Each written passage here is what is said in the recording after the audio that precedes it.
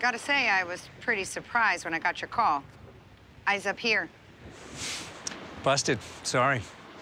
I appreciate you taking the time. Gave me an excuse to drive up the coast.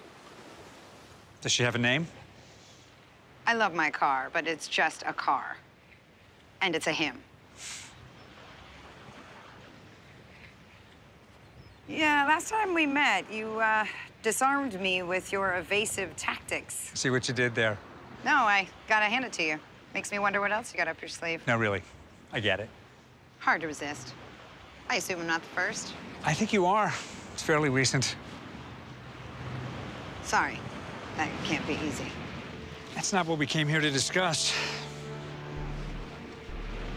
You're going about this all wrong. Panicking the public, not wise.